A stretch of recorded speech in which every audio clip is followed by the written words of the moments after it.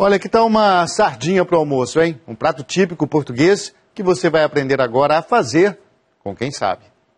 A movimentação é sempre grande. Correria para descarregar o peixe assim que o barco chega.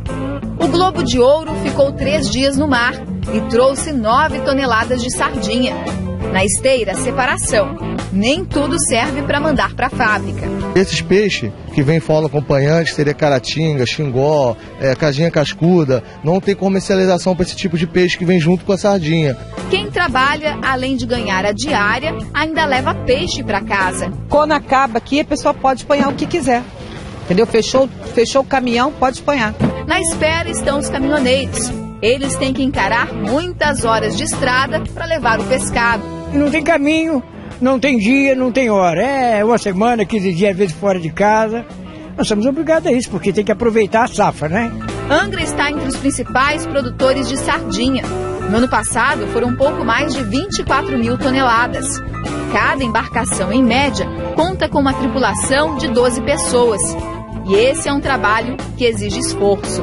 Eu estou dentro de um barco que acabou de chegar de uma pescaria e vou explicar algumas curiosidades. Olha só que interessante. Muitas vezes a gente vê um barco menor sendo puxado junto com a embarcação onde estão os pescadores e não entende por quê. É que quando eles encontram o cardume de sardinha, eles têm que fazer um cerco. Então, duas pessoas vão para esse barco menor, jogam a rede para cercar o peixe, pode ultrapassar até um quilômetro de extensão. Feito isso, aí começa de fato a pescaria. Deixa eu passar por aqui, vou explicar para vocês. Aí eles têm que usar essa outra rede aqui que eles chamam de sarrico.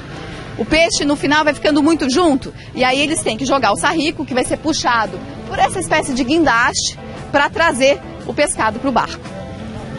Wilson diz que a pesca, apesar das novas tecnologias, ainda exige paciência. Você jogou a rede na água, dependendo da quantidade do peixe, vamos botar 10 toneladas. Se tiver 10 toneladas do peixe, você demora mais ou menos umas 3 horas e meia, 4 horas.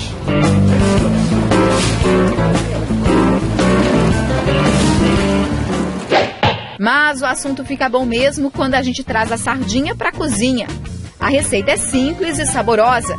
É o escabeche, feito na panela de pressão.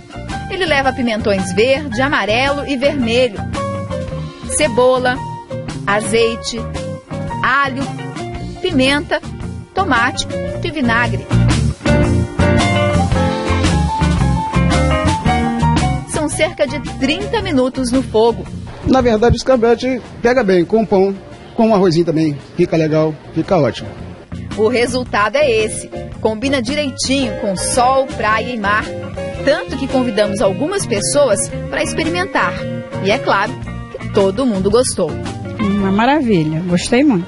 Tempero bom, nunca tinha comido, gostei. Combina com tudo, né? Cervejinha, sol, mar, tudo.